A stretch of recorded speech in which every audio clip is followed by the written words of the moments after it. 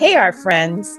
ArtCollab is a monthly Zoomcast with Sarah Matthews and Nathalie Kalbach. Each episode, we collaborate and chat about all stuff art related and topics that go way beyond that, too. So let's see what we discuss today. Um, let's start with making this here and talk about what's new uh, in our studios.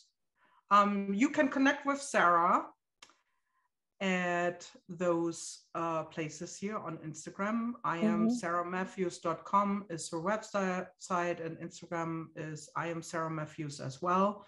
And she has a brand new online shop. But Sarah, what's new in your in your studio right now? So I am a guest teacher for Wanderlust 2022.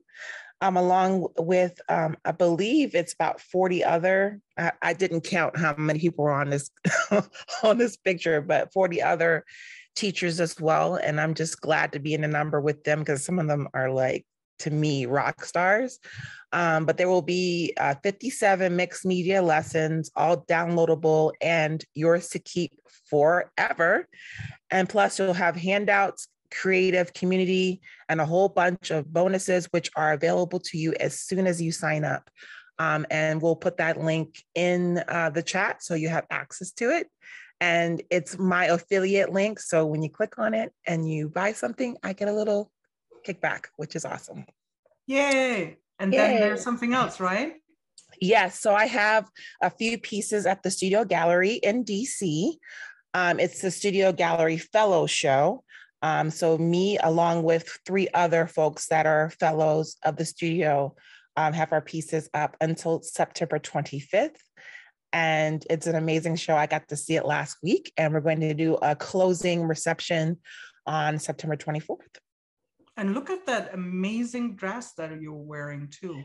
Thank you. And the thing is, as I was in when I was at the the the beginning um, reception on Friday, people knew which work was mine based on what I was wearing. it's like, oh, that's you. You you look like your your work. I like so uh, yeah, it's funny.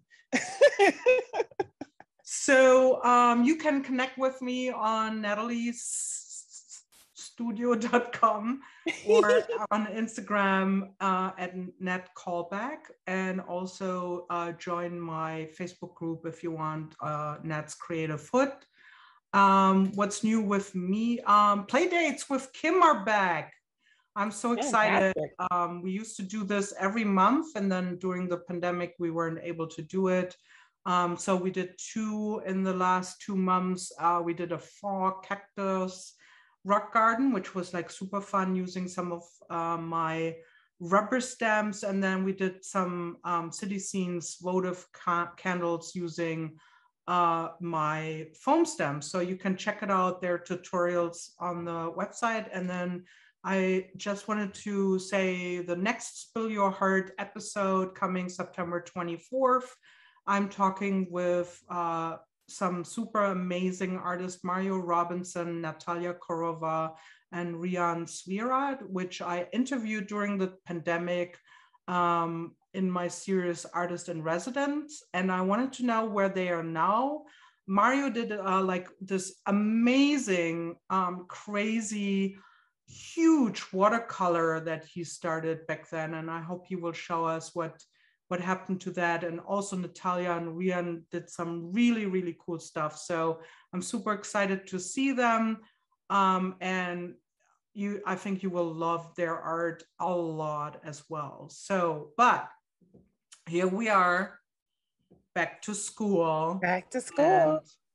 And, uh, so we were talking about that, Sarah, right? Because um, the thought was that if you are um, a teacher, like a mixed media teacher or whatever, like a, a teacher, you don't do a lot of classes, but sometimes you do, and it's very, very important to take classes yourself. Mm-hmm. Yeah, exactly. Um, why, Sarah? Why? But why? Well, I feel like taking classes, I don't know, it feel like it's it's like a vacation as being a teacher. Like you don't have to worry about any of the things, any of the Zoom things, any of like the checking on people where you just focus on yourself. I feel like I as I'm going through that process, I'm thinking of myself as a student, putting it, myself in the student's shoes, and it helps me be a better teacher. Um, and then also whatever I'm learning, like I feel like I am a career student, so I'm always like drawn to being curi- curious and figuring out something new. Like so, for me, I just love, you know, and I got to get back in the habit. I used to go do something every month, but um, I really got to get back in the habit of doing that. Is spending time with myself. I think joining those classes is like spending time with myself. So.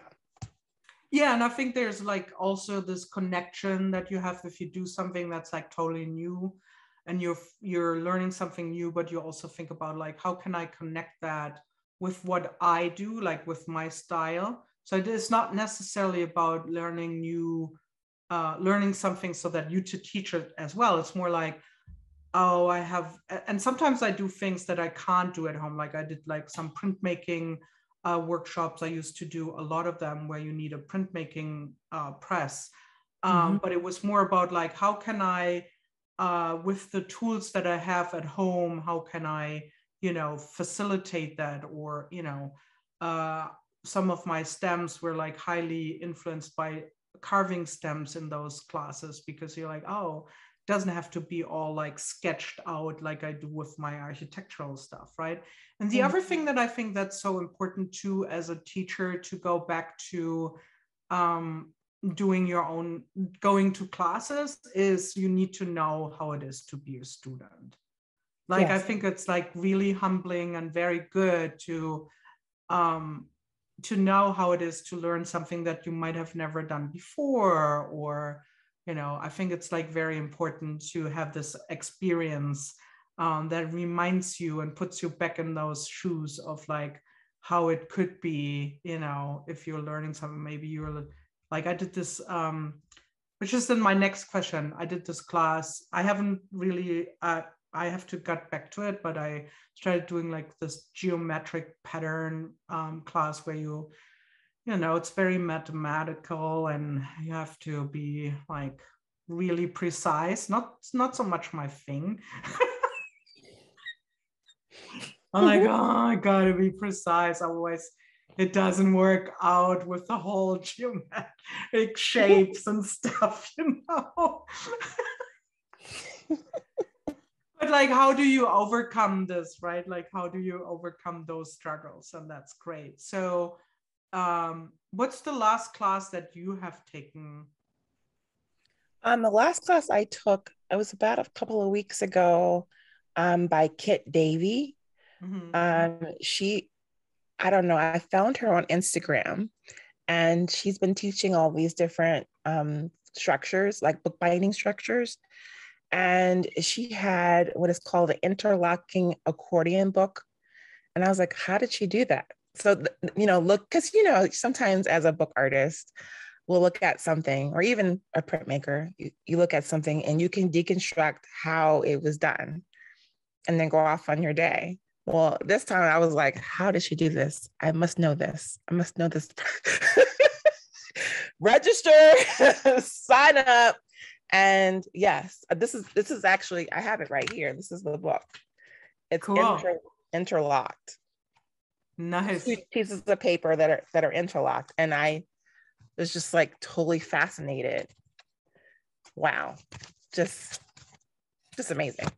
But I mean, it's very simple. No glue is required, but um, it's the way that she taught it that was amazing, and it was approachable and I want to be able to apply some of those like that approachable like things. I feel like to me, bookbinding is really hard to teach online, but she made it easy, you know. So like how can I do that for other students and stop being so scared to teach bookbinding on right. Zoom?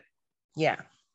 So Shelly is asking what's today's class about. Um, Shelly, I don't know if you have joined us before, we're actually never really teaching classes here. Uh, these are conversations that Sarah and I have. And in this episode, we're talking about back to school and why learning as a teacher and learning in general is, uh, is important.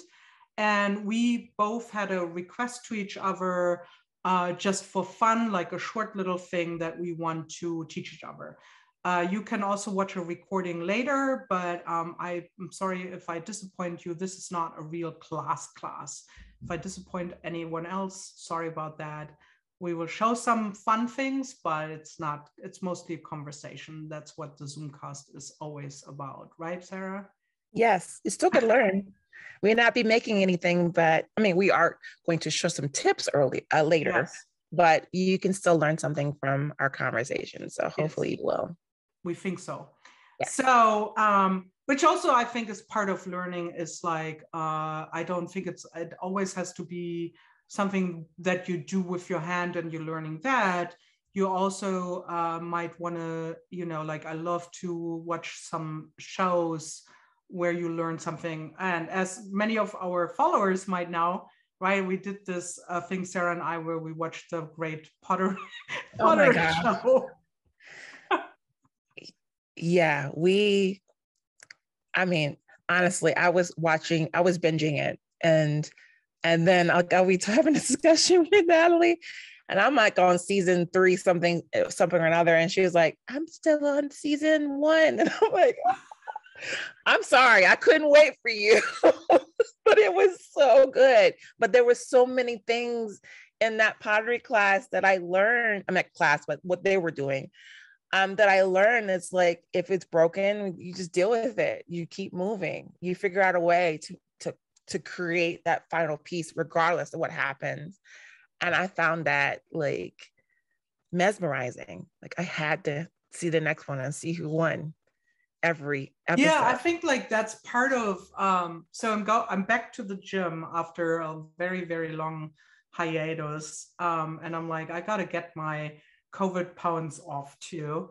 And so um I'm back to the gym and and it's funny anything I do I always think about like I don't know it's probably how your mind sometimes go like how this relates going to the gym for example to a gym class to making art or to teaching classes in art, right? Like, uh, you know, you're like, okay, I can't really do any push-ups. like, what's a push-up? But no, I'm just kidding. But like, no, it's true.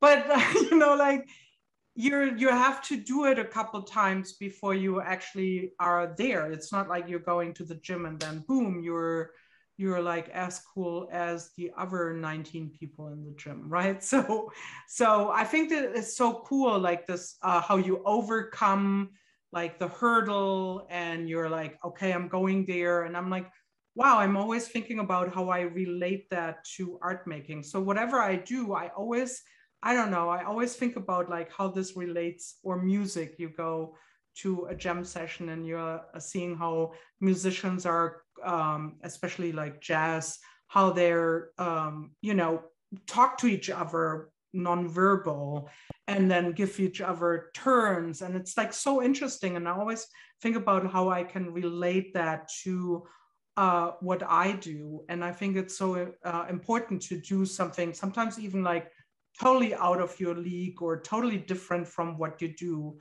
uh, like watching pottery stuff. Right? I would never have done it if you didn't if you didn't recommend it. Like yeah, I was like, you got to watch this. And then I was like hooked after the first episode. Just yeah, definitely. I think we saw said it in every episode, but I definitely say like you.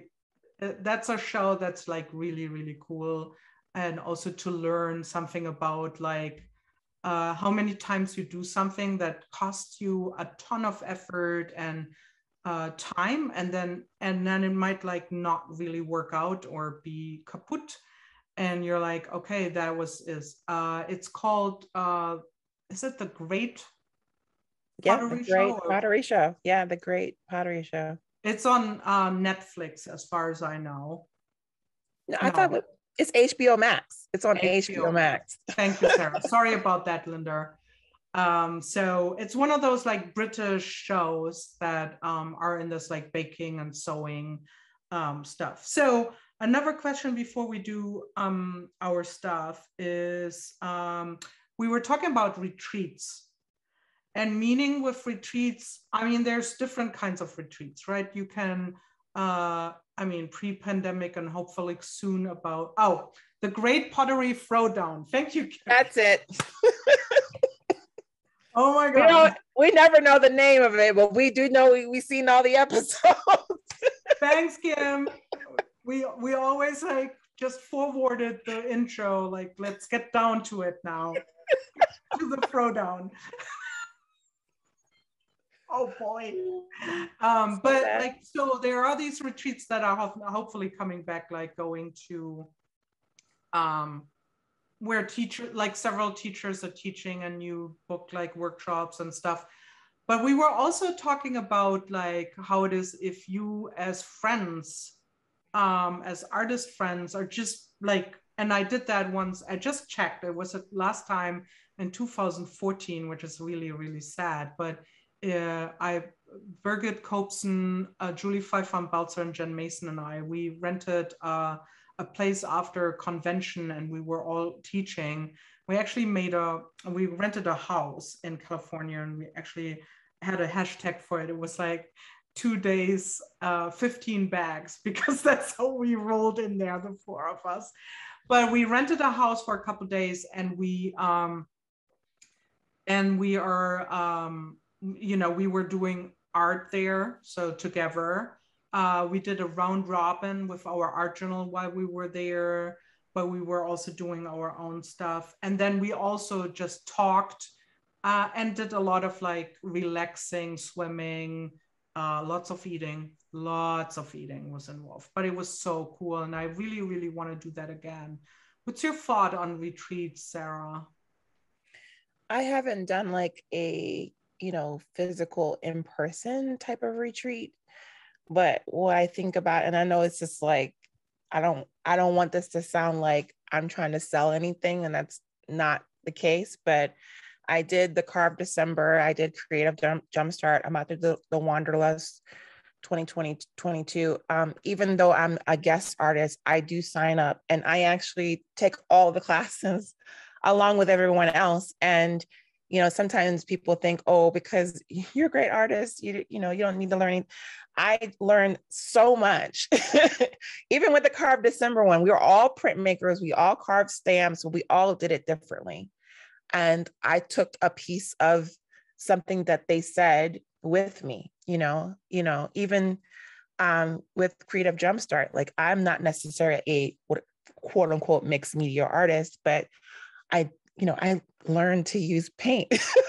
like I would never use paint before, but I pushed myself to do something that I had never done. And then because we, you know, on this lockdown or this this quarantine, this this pandemic thing, I've had the opportunity to, you know, have my retreat at my desk. So I'd wake up in the morning, watch a video, and then absorb whatever that teacher is, is telling me. And then I do the thing. Right. So I'm grateful for that. And I even have like my two art friends that I meet with every week. It may not be a retreat, but we meet on Zoom from our computers and we make things every week. And it's so cathartic. It's so life changing. We bounce ideas off each other. We help each other be better. And so I encourage you to find that group, that retreat to get you back. I love this idea of um, doing that on Zoom too. Um, and if you are lucky and have someone close by, I mean, I know with the pandemic, it's always like a little bit uh, iffier, but um, as I said earlier, like going and having this play date with Kim is like, I don't know, we, it's not like we're doing, some of the things are complicated and we thought they were easy when we picked them but most of the times i just i just love that hanging hanging out with uh, kim and you know we're pre-planning and we have the stuff and then we do it and it's just always so fun and then we have lunch usually uh, afterwards. So if you can't do it in person, I love this idea that Sarah said, find some people and make art with um, people or craft, art and craft, whatever floats your boat, and yeah. do that on Zoom. I think that's such a great idea. Um, very cool. So we asked each other, uh, like, if we would go back, if we would be on a mini retreat, the two of us, which we will at some point. We're yeah, we're doing this. We're doing this. It's coming. Yeah. Although I will tie down my letterpress. You're not getting it. uh, who knows? I might bring my U-Haul truck, you know. But we asked each other, like, what would you want to learn? Like, what would be like a, a short thing that uh, you want to learn from the other person? So, Sarah, who wants to? You want to start with uh, like what you want to show? So I yeah. said to Sarah, I'm not a big, I carve stems, but I am struggling with uh, carving um, swoopy letters and swoopy, you know, numbers, like everything that's like kind of like very, and I wanted to know if she has some tips and tricks she can tell us, um, uh, well, selfishly, that she can tell me and like how to best approach it let me make that video uh, spotlight. So that's um, there. Uh, give me a second. Spotlight for everyone. So there we go. Okay, you see, see everything. Okay, great. So I'm going to, this is a piece I'm going to use. This, so I'm going to just mark on my paper the size of the stamp. And this is really um, scrap. I actually collect all my scraps in a bag. so nothing goes to waste. All right. So I'm gonna cut this out.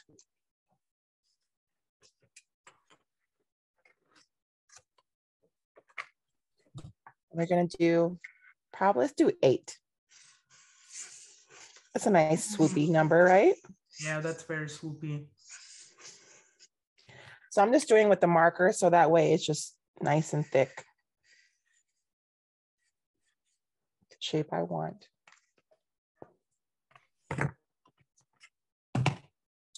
Then I'm gonna take my pencil and I'm gonna just shade.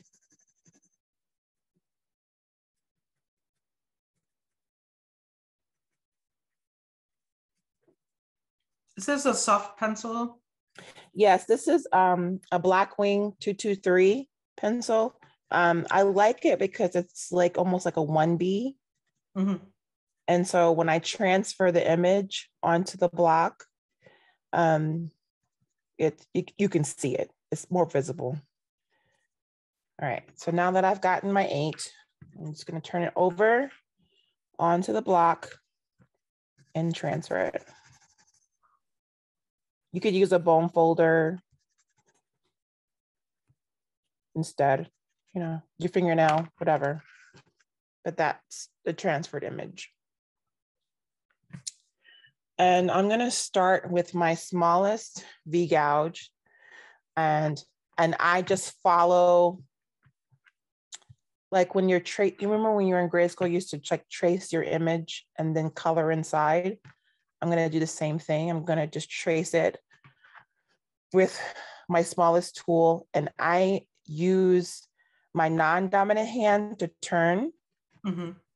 and then keep my um, carving hand the same direction. So I'm going to start here and I'm just going to turn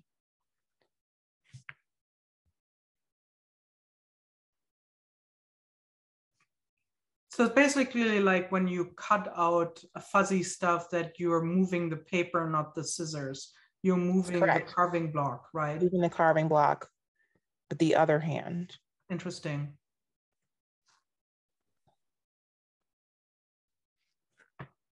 That's it.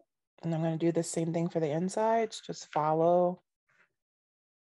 And really not, sometimes I don't even move, depending on how sharp my tools are, I don't even move my my carving tool, I just moved my other hand. Huh. see that, uh huh, this like kind of little light bulb, like, huh. Uh huh. Aha, aha. All right, so now I'm gonna do my biggest tool because now I'm just I've already traced it, so I don't have to worry about making any nicks because it's already cut. So I'm just gonna follow, follow, follow, follow. A lot of people ask me like, how come you don't use the speedball tools? Is because I change tools often. You know, like I switch out, so I don't like having to like take it apart and put it back together. Mhm. They're wonderful tools. Don't get me wrong. I just am impatient. Yeah, I actually have probably not the same company, but I have um, wooden carving tools like you have Mhm. because I'm like, mm, ain't no time for that here. Yeah. I mean, it's good for like teaching a class, somebody who's like new at it, you know, it's good.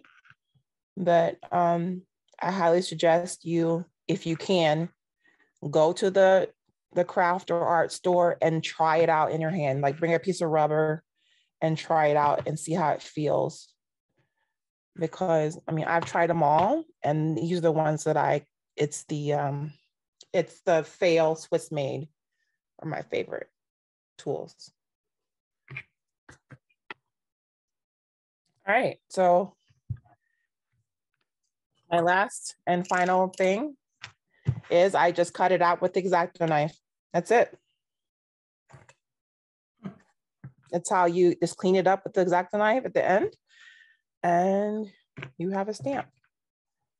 I love I love that. Uh, so it's basically like if you you you're you're guiding, um, you're turning the the stem, not the cutting tool. That is Yes.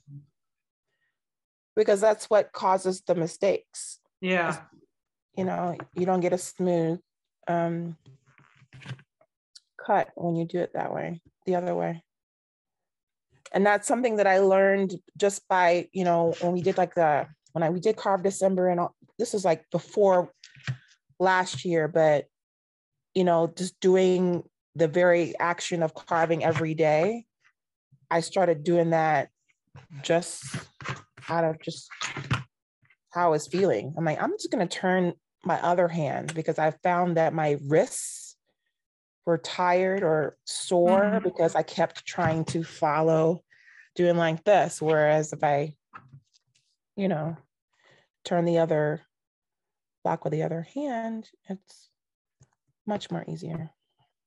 So do you feel like when you don't carve for a while that you're having to kind of get yourself back in the groove and practice or are you so No, I feel like it's like it's like riding a bike. Um, I I feel, but sometimes I just grab, you know, like I said, my bag of, you know, rubber and just go for it. You know what I mean? Mhm. Play around and and see. But There you go, swoopy eight, man. how long And did then- that take? Very cool. I like that a lot. Now I'm like, I, I want to carve some swoopy stuff. Yeah, just try. Just, well, I just noticed that there's like a little noise right here. So I just took my tool and just did the same thing. Just curve, turn it, turn the block, and there you go. It's it's gone now. Cool. All right, it's your turn. Wow. So you said to me, let me get this out.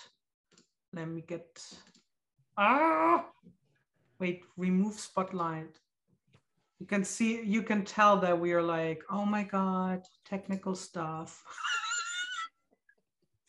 Let's get to the making. I, I'd rather do the making. Yeah. right. Okay, let me see. Where am I? Here. Can you guys see this? I hope when I put the spotlight on there, I guess. So Sarah asked me, you said you want to have me do something with colors. yes. Why? no, I'm kidding. Um, wait, where is the spotlight? Here. Okay. So you said you're you're not doing a lot with co color, which is actually not true. But anyway, no, I am doing a lot with color, but I wanted you to talk about like um secondary colors. Okay.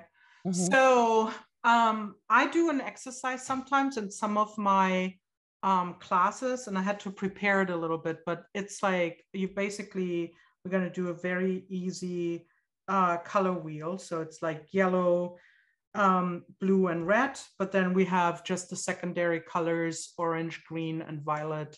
Uh, which can be mixed with the one with the ones that are always uh, adjacent from us. Is that what you say? Yes, I guess. So. Yes, yes, yes. Yes, English. You're my friend. exactly what I wanted to know. Go ahead. Right. So what I'd like to do is I keep in mind like the exercise that, and you can do that when you're at home later uh, yourself, because, and I would actually say you should. Um, you should say, um, you know, I'm going to take a magazine or something that I have at home. You could even use your paint uh, material and just, you know, use your paints and say, I'm going to, I'm going to find yellow, green, blue, violet, red, and orange. And you're, you're tearing it out. And I prepared some little boxes. You can just put them on a pile, but you're not really like trying to put them next to each other. So I go through that and I say, oh, here's a violet, right? And I'm gonna go into my uh, ca um, catalog here and I'm just gonna rip out a little piece that says violet to me. And I'm not really, you know, um, looking further into that and put that into my violet um, pile. And then uh, I guess this is the fall catalog, but yes, if I look at this, tone right? this is like a little bit red. So I could be like, okay, this is a red. This is red to me. So I'm ripping out, I'm not really making more judgments, oops, than that. Can be bigger. This is a is a not a very good um, you know catalog actually to use because the images are small. But like if you have a magazine image, like I would rip this out for an orange, right? And I'm just like ripping out until I have several different, um, this is like a blue if I look at it right now, um, several different pieces of the color until I have like, I don't know, 10 or whatever of yellow, green, whatever I uh, set there. And the reason why we're doing it or why I like to do that is to explain how colors are um, relative relative to each other. Mm-hmm. So if you start like looking them isolated and a lot alone, you're like, oh, that's a green, that's a yellow, that's you know this color. But then what happens if you start like putting them out? So here is my pile of red that I did earlier. And now, mind you, we all see colors a little bit different too. And we also um, have different monitors and calibrations. So it's a little bit tough, right? So this is all the colors that I put out for red. And when I now start to look at those and I want to put them into red, right? I'm kind of like looking at it I'm like, wow, actually, these ones here, this one here that I saw clearly as a red when I pulled it out, I would now put that more into an orange, right? Same with this one. This is a little bit on the edge. I don't know how you guys see it on the camera. Like you might see it in a different way, but this one looks more orangey than actually red, right? Yeah. This one is mm, like red, but this one looks almost like it's almost like a violet, but it's still more red. How do you see it? Yeah, it looks more red.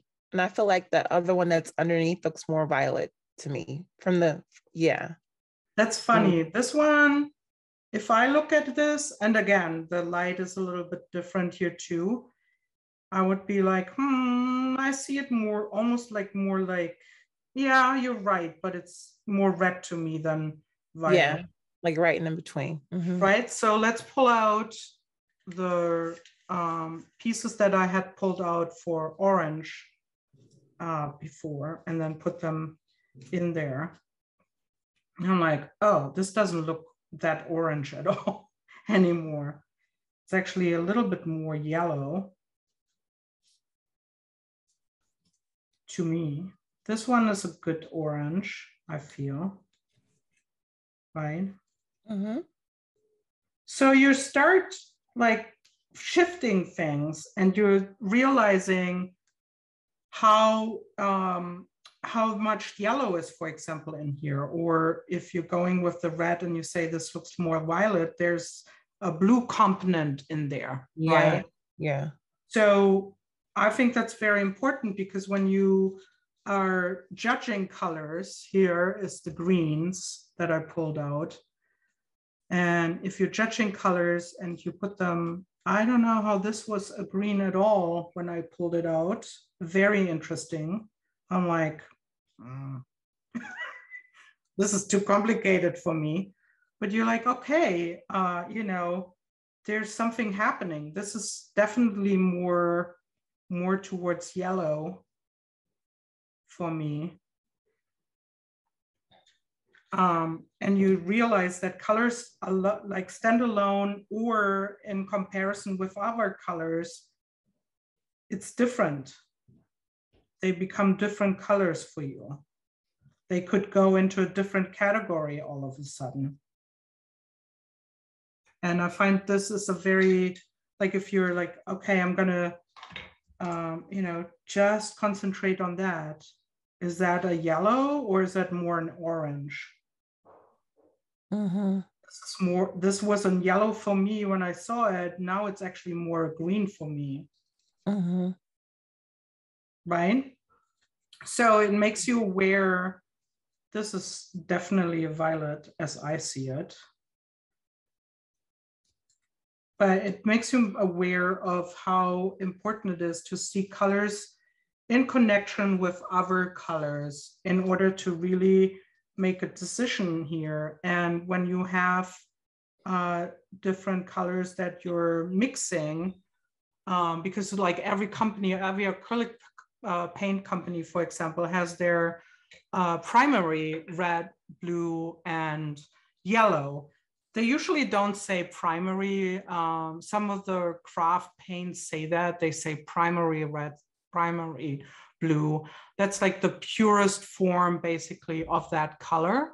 Um, some of the other acrylic paint companies have like, uh, I think um, for Liquitex, it's like something like um, phthalo blue with green shade. Like I wouldn't know that's their pure uh, blue, right? Mm-hmm. But it means that if you mix it with another uh, primary color. That's like the purest kind of color that you can get when you're mixing it. And if you have colors that have a very uh, big, like say you're mixing a red that is basically more into orange, and then you would mix it with um, with blue because you want to get an, uh, a violet, that's not really going to work. It's going to turn out a little bit more brownish because the colors that are um, opposite of each other on the color wheel, these are com um, complementary uh, colors.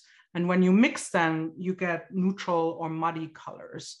And if you have a red that's already has, is more towards orange because it has a lot of yellow in there, and you mix it with a blue, you won't have, you will have a hard time to mix it to become uh, violet um, because those two are competing uh, with each other, those elements, because there's yellow in there. So sometimes people have a hard time to kind of like decide when they mix paints or grab paints out, why they can't mix it and they're getting frustrated. And the answer is it's not you, you just need to see what is um, what's your color really leaning more towards it. And just grabbing it and saying this is red doesn't really help. You have to put it next to other colors uh, to kind of define unless you're there are charts of course for every company that says you know, there's more yellow or red, or sometimes you see it on the label, but it helps like to really put them next to each other and decide, is this actually more an orange, uh, orange red, or is this more a violet red, or is that more like a purer red? Uh, to make decisions how you mix um, colors.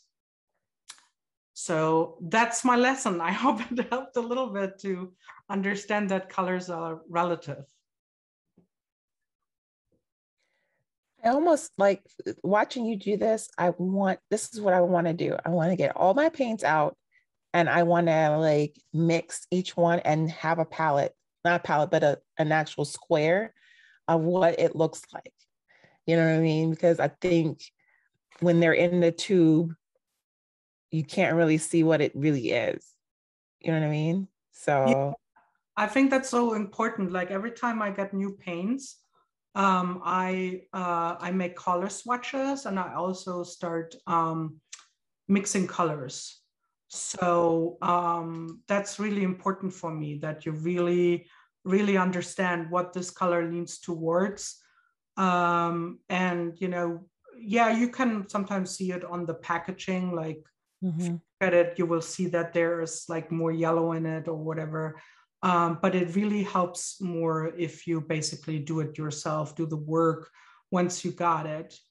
Um, I see Marsha said, I have a swatch for all my, uh, my paints. It helps a lot, exactly, uh, color swatching. And then Anne Lou says, um, I once taught a class on color where the students were to bring something red. Everyone brought a different color red. Yes, that's also a very good exercise. It's also um, where you say everyone, without looking at a Coke bottle or can, uh, go into a magazine and find not the ad, of course, then it's the pure one, but like find the red that you think is the Coca-Cola red. It's like such a significant red. And then you will put it all together and you will see it's all different. Tina says, I'm so impatient. Color swapping is hard, uh, swatching is hard, but I'm just doing it with my markers. It's mm-hmm. fun. I like it. It's a very med- meditative and um, Zen like uh, thing for me. But as you know, like I, I just recently started getting to use paints. So this is important to me to figure out, you know, how to mix them because I, you know, don't know how to do that you know, properly. I mean, I do it with printmaking, yes, but I feel like painting is a little different. Like how, you know, this was very helpful. Thank you. Cool. I, I'm glad it was. I you never know, like you're like, mm. But, it's such an easy way, right? Um, Nicola yeah. says I have expensive coloring pens and they all have charts for you to color so you can see what they look like yeah and it like it's really important i keep a record and Lou says of all my colors whatever the medium that's that's really cool um yeah that's what i do with the playing so i guess it's like how do you how do you go about when you get like for example you said you would do uh, new um, carving tools a lot of new carving tools right? Mm-hmm. Do you then test them out on a test drive too and and see how they react in comparison to the other carving tools that you have? That is true yes. Same thing right? Yeah. That's what you what i do when i get new colors. Like do they behave the same no they don't. And even sometimes the brands don't behave the same. The different brands or like i know like the golden like fluid acrylics are different from the the the the heavy medium acrylics like they don't work the same.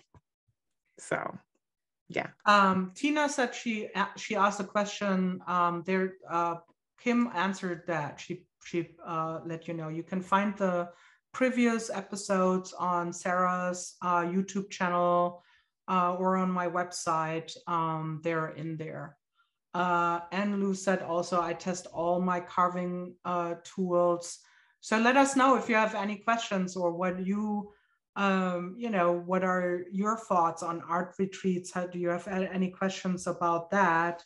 Um, so no worries, Tina. she said I missed it. okay. follow follow um follow Sarah on YouTube too. Um she uploads just like I do also all the videos there. But also um Sarah does a ton of videos every Friday. She posts yeah. a new uh video and they're really cool and very um informative as well. Thank you. Um, so yeah, that was fun. So I was about to say, um, I'm nearing a hundred videos. Wow. So I'm going to do something special. We'll talk about it. It won't be till next month, but like, you know, if you want to join me on the video, that'll be awesome. All my art friends, um, just to uh, share, you know, how these have inspired you because I sometimes I don't know how how things are going, but yeah, it'd be nice. I love your videos. They're always like super fun. And um it's so funny for me that you're not funny, but like you're having like you're so good with colors too and layering colors. It's like intuitively um very amazing. Um, Annalou asked Sarah, do you sharpen your tools or just replace them?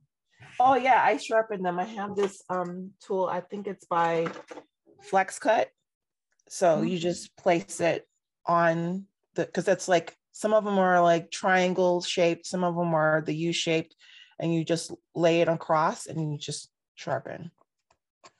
Or you can use the Japanese stone where you, you know, put it in water and you just grind it and sharpen it, but I sharpen. Don't throw them away. I sharpen. That's a really cool sharpener. I've never seen that mm-hmm. one. Yeah, by FlexCut. FlexCut. Okay. Yeah. Mm-hmm. Very cool. Uh, making a note. FlexCut. FlexCut in my shopping cart soon. well, that's that's the other thing that the other thing that happens when you're taking a class or you're collaborating with someone is like, where did you get that?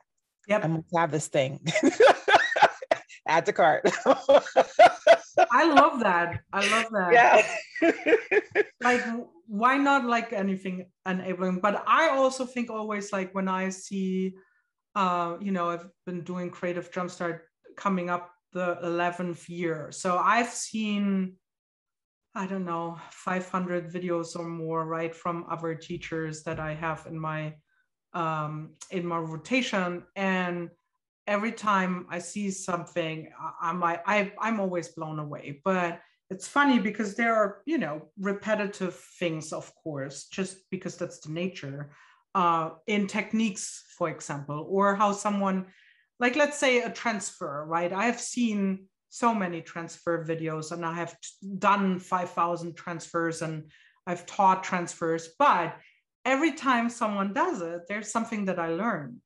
There's like, you know, everyone has a different approach or different um, explanation or tools that they use. And you're like, oh, I oh. must have this. the thing is, I use the tools. They don't sit there and collect us. I use them, you know. So it's just like you're adding more tools to your toolbox so you can go out and do more things. And I feel like I get faster because of all the, the learnings that I am, you know, gathering. So I think it's again just important. And then sometimes you get inspiration from places that don't necessarily do what you do. Like, yeah, so I'm, gonna, I'm gonna put in this um in the in the chat. So there's this um lady. She goes by My Froggy Stuff, and basically she's like a doll collector and she shows you like how to dress your dolls and all this stuff. Usually my kids watch this. But then she takes it to another level where she creates the house and all the things inside it. And she does it with her own hands, with glue, with with board. And you're like, what? she took that pile of stuff from the dollar store and made a house out of it, right? And so that to me was so inspiring. Even though my kids were watching it, I was over there over their shoulder, just like, eating it all up because I'm like, I must have all the things that she's using because she's amazing, right? So check her out. And then there's another one, um, D- DIY Danny. So she does more like construction, so like building shelves and and furniture and that kind of stuff. But one day she like spray painted tiles. and I was I was watching, I was like, oh my gosh, I could print on tiles. I could definitely do it. So follow all her steps to the point where she starts to spray paint. I could literally print on tiles and then seal it with all the things that she put in there. So I'm going to Home Depot and get that stuff done for my bathrooms downstairs. When that when that when it when it's all together, I'll make sure I do a video of it all. But yeah, that got me like excited about what I could do with printing. Not just paper, but tiles. Yes. That's pretty cool. I'm gonna I'm gonna put um, a link in here too that reminded me while you were talking about that. Um, it's on Instagram, City Fog um, Studio. Um, very grungy, um, you know, stuff, but the, mostly like stuff from cities, miniature, like miniature stuff, and the way how they use like the funniest like things uh, that can be like a brick house or townhouse, and you're like, oh, use the cap of a sharpie, you know. Yeah. It's like it's just so cool um, to see that, and it's very inspiring too. Um, like how to make textures and um, here's, for example, um, uh, Nom Wah tea parlor that I have been in Chinatown for, you know, uh, lunch a couple times and I'm like, I can't believe you just made this a miniature. It's like the best thing in the world, you know? Like, and then you see the pictures, how like how they uh, sometimes what what was used, and it's just like so cool. Here's a letter. It's like, how is this not a real letter? And it's like up to the paint specs, you know, like just amazing. So, all I guess to say that looking at other things can be super inspiring and you can learn something as well, right? Yeah. Oh, and I'm also going to put the link to Kit Davy, the, the class that I took. Oh, yeah, uh, cool. Yeah. So that way you can go check her out too. Very cool. That was fun. I need to have stems now. Oh, yeah, you can do it. I'm gonna do letters and swoopy stuff. Yeah. it's like usually everything I carve is kind of boxy. Yeah, it's just, you know, hand-eye coordination. You just turn one and then carve with the other. Very cool. I hope you you guys enjoyed it. Um, we want to tell you what we're gonna do for our next episode. Um, Next one is October 5th at noon. Um, mm-hmm. It's going to be Get Your Ink On. Yes. Get your ink um, on. Uh, get, get, your, ink, on. on. Get your ink on. it's like white girl overbite. and it's uh, October is a popular month for creative challenges, and many seem to be focused on the art of printmaking. Think Inktober and Printtober. Sarah Nat, that's us, thought it might be fun for ArtCollab episode eight to do a little show and tell and share um, their personal favorite basic printing techniques. Nat will share some ways to use a jelly plate for printmaking, and Sarah will demonstrate how to use an Art Foamy stamp buddy to produce multicolored layered prints. Join the Zoomcast for some inspiring tips and tricks that you can apply to your own art making and participate in the chat discussion and the question and answers to have your questions answered live. So yeah. again, another one where we demonstrate a little bit more, uh, but you also get our chatty, chatty, chatty selves. yes. Yes. And a lot of giggling and smiling. Exactly. and look what I got in the mail. Oh, she got my little, oh, she got my art for me. Yes, I did. I got four of them. oh, you're the best. I can't wait to see what you do with them. Oh yeah, I'm excited about the the hydrant and also, you know, our Lady Liberty. Yes. I know. uh, I thought also too, even though it's episode seven, it's also t- September 7th.